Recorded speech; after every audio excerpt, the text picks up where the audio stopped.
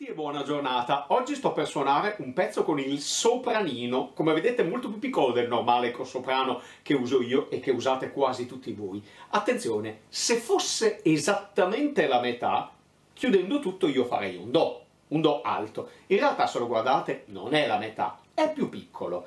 Quindi cosa vuol dire? Che se io chiudo tutto, in realtà faccio un Fa.